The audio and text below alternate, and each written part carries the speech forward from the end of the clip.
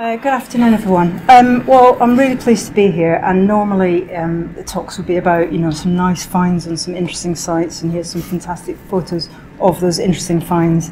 Um, so it's a really good opportunity um, to, to be to able to talk about other aspects of being uh, an archaeologist in the field, uh, particularly in commercial archaeology.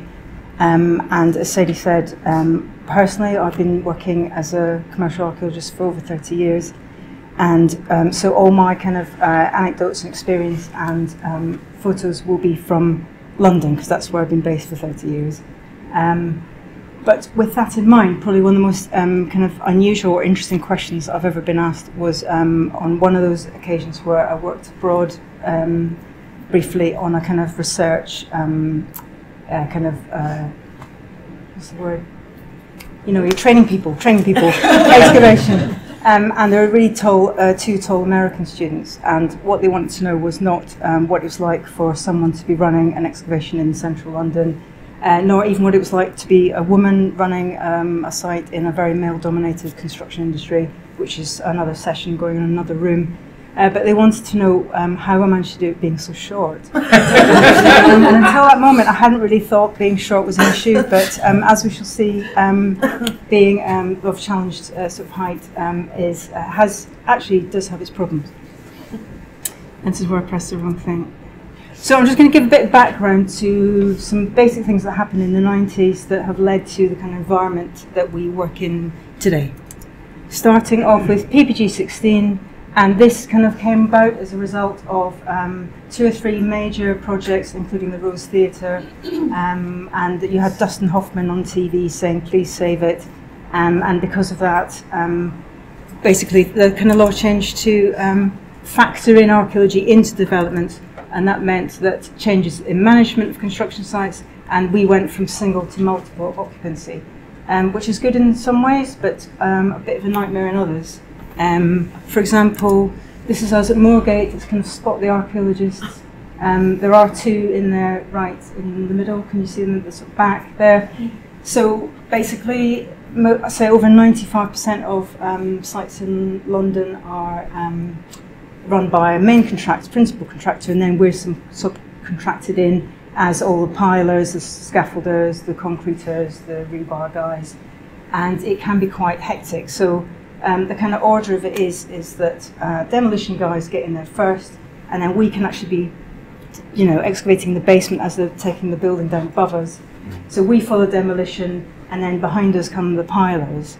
And because the cost of getting the piling rig in is so massive, because uh, you've got to do road closures and everything, so nothing is movable on the piling rig coming in.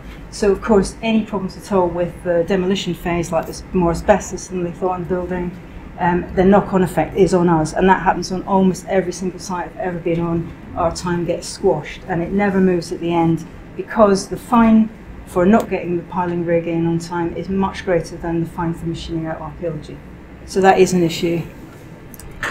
Um, here we are at Liverpool Street on Crossrail. We're doing some medieval pits there, and to be honest, if I'd known um, what I know now about Crossrail, we probably wouldn't have uh, rushed so much. um, uh, here we are working in various kind of tiny areas. Imagine getting a spoil out for that. That was a bit of a challenge for my colleague Rob Hartle.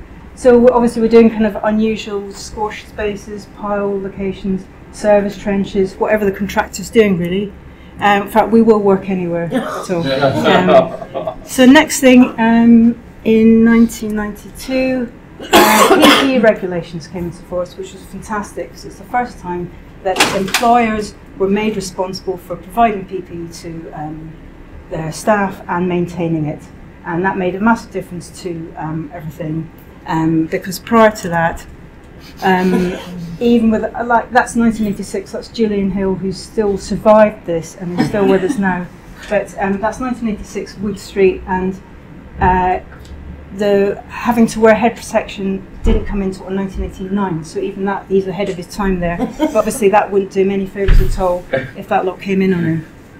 Around the same time, going back to Liverpool Street again, um, this is the initial phase of excavation there, um, ahead of Crossrail, obviously.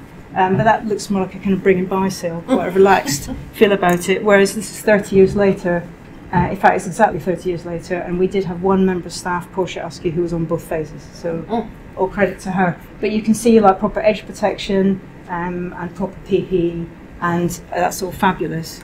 As is um, the introduction of kind of women's PPE, and that's kind of in the last five years, I'd say, that we kind of got it kind of into that, or that's when I'm aware of it anyway. Um, and for such a short woman like myself, brilliant. Um, and it's all kind of more fitted in better sizes and also better for small men as well. Except for, and it's always a criticism, but the purple trim makes it look female. So I've known one bloke to colour it, I don't know. because yeah, why not just make it smaller sizes? But anyway, it's still really good, and it also means that women have got a kind of more of a visual. They're being acknowledged as being on site and needing PPE, so that's massive anyway.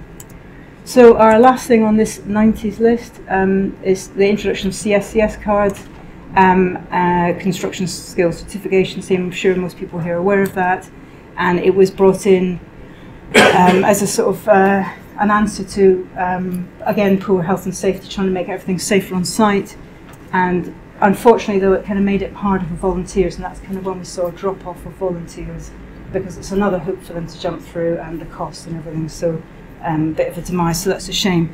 But just to zip through this, um, it was fine until 2017, I would say, and then it, they they added in the professional accreditation thing, which then managed to exclude uh, or cause enormous problems to a lot of people who'd come in in the 80s, not with a degree, basically, um, and people who'd come in through the MSC scheme or who'd volunteered and then got a job and who had over 30 years' experience. It meant that they were invisible in the system, and it was ridiculously unfair.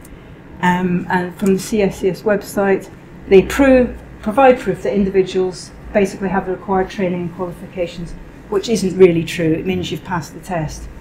Um, and then CIFA, unfortunately, I, I think unfortunately it's my personal opinion and not MOLA's opinion, got involved. And then from their website, they're, they're saying the cards recognise the high levels of skills that archaeologists have, which again I don't believe is true because um, to get a job now, you most people have a degree, and if you've got a degree, if you've got a degree like me, you've spent maybe three weeks in a field in France somewhere, and you don't have um, any idea of what it's like to be on a demolition site at all. And you probably haven't really dug much, and somebody else might have planned everything for you, recorded it for you. And here's an example uh, from the test, um, which has nothing to do with archaeology anyway. So here's an, an, example of how you can be skilled. So if anyone got, anyone got, who thinks A for that? Anyone? Yeah. B? Anyone? What about C? Yeah. Come on, you're all archaeologists. You should know this. You should know this. No. It's B. It's B. But that's what I mean. To pass the test, you have to memorise these, and that's it. Uh, while I'm criticising this whole thing, uh, the real cost dig for an individual five years, the CSCS card, if you've got a degree, basically, it's 57 quid. It might have gone up again because they put it up because of admin costs because so many people had to get one. But if you are Italian, say, and you've got a degree, it's more than double that for the compatibility test, and so you're looking at over 100 quid. Um, I mean, to be fair, uh, companies do um, pay for them, but not everyone is in a company when they have to get their cards, so they are putting the money up front. Um, and then if you don't have a degree, in order to carry on working at all, you either have to get a degree, get an NVQ in archaeological practice, or join CIFA, which I think is really unfair, actually. and there's three grades, of course, as we all know. These, and there's the total cost over five years. And um, of course, uh, the PIFA and the, the associated member it, of course, everyone knows that it means that you're kind of basic, better, and even better because you've had something published if you're MIFA. And um, a friend of mine who's been in archaeology for over 25 years but was between companies um, had to get his own card because I know you get the money back, but he had to put, find the money up front. Um, it was Boris actually.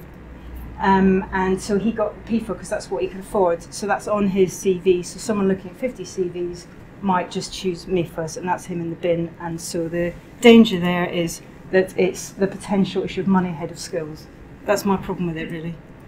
Another bugbear of mine is the whole zero harm thing. There are positives there. There are positives I've been waiting for. Anyway, zero harm, zero injuries, zero everything else. And of course, it's a good idea to not go home and you know injured.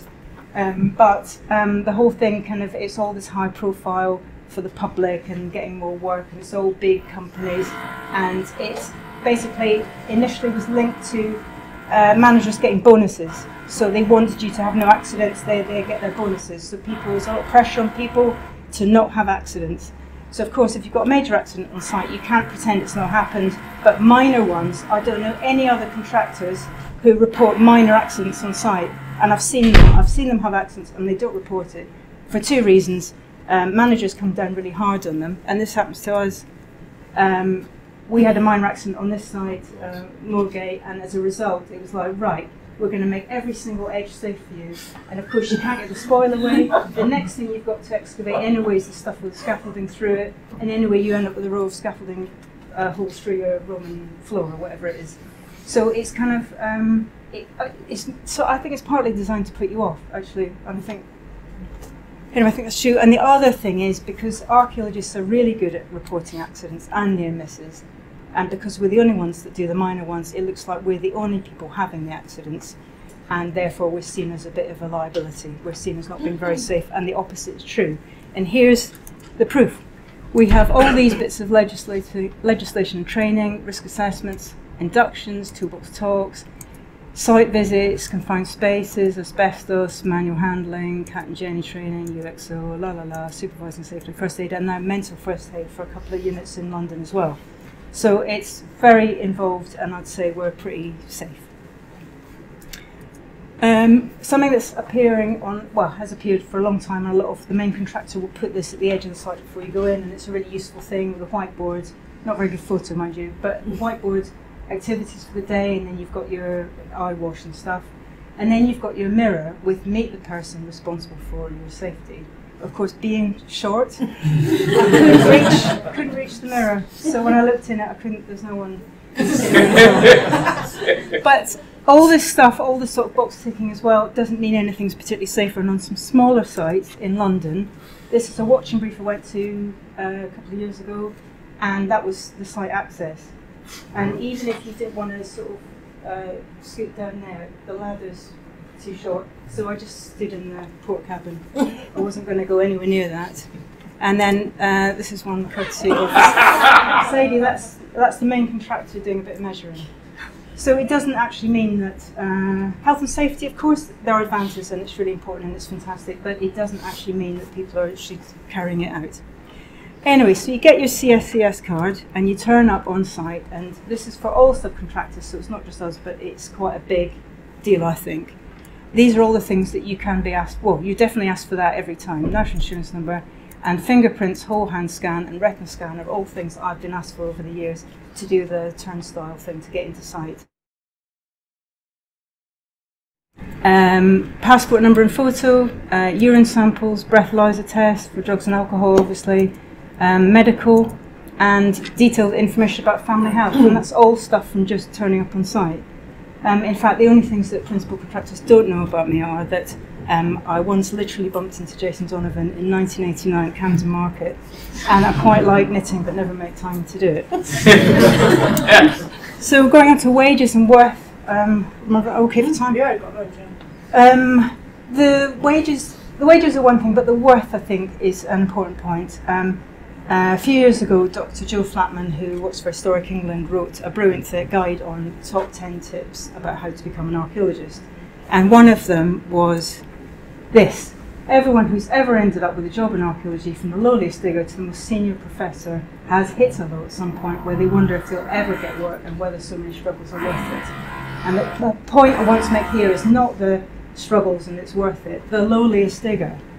It's that attitude, the lowliest digger, and there's nothing lowly about a digger at all. And someone who's a good digger, it's a real skill. And the word specialist is given to loads of other people who are specialists, but so are good diggers. And they're they're worth their weight in gold. And it's it is a, it's not just digging a hole, as we all know. It, there's a skill to it, and it's not recognised.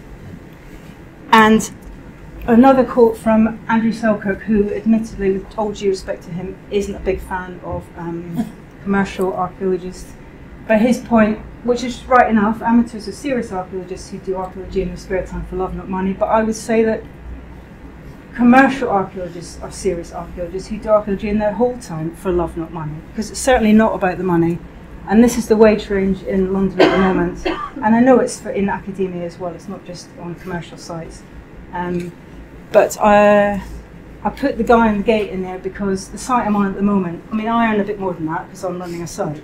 But the guy on the gate still earns more than me. So that's kind of, it just, he should be earning that, that's the point. It's not that you know, I should get some of his money. But, um, and then I just want to put in this over-educated. Um, the other day in the in the hut, I looked around and there's five people doing paperwork, and two of them had PhDs, and we're a really ridiculously qualified, over well, over-educated. I don't know, educated load of people. Loads of diggers have got MAs as well, um, and I, it just seems to me like an under underused resource in some way. But the other point I want to make is the thing you cannot learn in the classroom is how to interpret this stuff. And you can't teach that in the classroom, no matter, you know what I mean? It's, it's a, it goes back to that thing again. Sorry, I, I just went through it with the, there we go, there we go, there. Yeah, it's not, it's, it's, yeah, you can, you've got people who've been digging for years and don't really know what they're looking at. You know what I mean? You've got people who turn up and you can tell that they've got an eye for it. And that, that's the thing, that's the thing that makes someone good. Anyway. Um, another thing that we do, which I think is under resourced as well, but that's maybe about lack of um, links with people. Um, this is site Moorgate. The next picture you'll see will be flipped round, so the big concrete blocks at the top are at the bottom. But this is a plan of everything digitised from that site, and then from that we can take all the Roman timber buildings from that. And it's that sort of information that kind of pieces into a jigsaw of London, and that I think could be there should be more um, communication with universities, and they could use this because it's the latest information, and you know what I mean. A bit more kind of um, we could use each other more, I think. Anyway, I'm just going to kind of end with a bit about um, publicity, media, and the public and everything. Uh, this is Sadie's site, brilliant. Um, if you, if the developer's got money, it makes a big difference, doesn't it? You can get engaged with public a, a lot more. And I would like to say, after all the negative stuff I've just said, I, I do absolutely love my job, or a lot of bits of it, otherwise I wouldn't have been doing it for as long as I have. And I, it's not just the archaeology, obviously, it's archaeologists. Archaeologists tend to be people who don't have material possessions as their high priority thing, because it is about, it's, you know, there isn't the money. And people who are a bit willing to travel and they're kind of open minded, and, you know, there's a sort of, they're fantastic, a lot of them are fantastic. Um, and I had another point, and I forgot what it was, uh, but and the public. the public. One of the best things ever about um, being an archaeologist, the thing you want is for the public to know what it is you found. And all the sites we've got, we're hoarding around them, and people don't really know what's going on. So that does make a difference having that. Um, and the other thing they do as well is they make everything more gruesome. Like on that site as well, we had a cremation, and they recorded it as body found in cooking pot. Sort of thing. But but we need them. We need them, and it, it matters that people find out what we're doing because we're not just doing it for ourselves. We do we are doing it for everyone else. And I'd just like to end with a story again from Crossrail. We did have a public viewing gallery at the edge there, and three lunchtimes a week, people came in, and people were queuing to come in. It was brilliant. We had over a thousand people, and we put some archaeologists in the gallery each lunchtime, and uh, Jess was one of them at one point, and anyway, early on we had a ghost hunter and a clairvoyant come to, and at that time we had loads of burials, you know, it's the Bedlam burial ground. And they um, said to her, they were looking at horror and they, could, they said, well, we can see loads of souls wandering about. You've got to stop the excavation straight away. The archaeologists are, are um, in danger. And she said, well, we can, I'm afraid we can't stop it. Um, and we do, we're very respectful with each one with the old skeletons we lift. And they said, well, tell your archaeologists then that they have to wash their boots with salt water before they go home at night, otherwise the, the souls will follow them home. but we didn't do that. We didn't do that. And as far as I know, everyone's got a spirit in their home with them. oh, that explains it. Yeah. but just to just fit, quick summary of some issues that I think um, could have some work done on them. Just to recap, that come up? No. Um, excavation time on sites is frequently cut to accommodate the contractor's delays, and I think a lot of people don't realise that at all. Um, we're often treated as dispensable labour. That whole thing of like, if there's a shortage of archaeologists on site, a lot of people come down from the office, you know, because anyone can. I mean, a lot of them, to be fair, are pretty good. Um, women are still often asked to get changed in toilets, shower rooms, and cleaning cupboards. Still, now, even now. And uh, the National Planning Policy Framework, which is kind of my ri- original kind of uh, guide for this, it requires archaeologists for, for everything from infrastructure to house extension projects, which of course is great. But it also means we're spread very thin, and I don't think there's I don't think there's enough of us actually, and there's not enough good people able to train all the other new people, and it's a shame because people are, are missing out on, on a lot of training, and a lot of things are shortcuts now being taught instead of the basics, and so there are issues I think around that whole sys- system. So how do we keep people in commercial archaeology? The main thing, better pay, better pay, definitely keep people. Better communication with contractors as well on site, so that you know if they're about to swing something over your head and they're not about to. Um, more practical training from universities and information to them. So much more kind of it'd be good if there was more think, more stuff in place so that when you got someone on site, they were kind of better for them as well that they can just get stuck in straight away. And more interaction with the public, and that's it. Thank you very much Thank indeed. you. Thank you.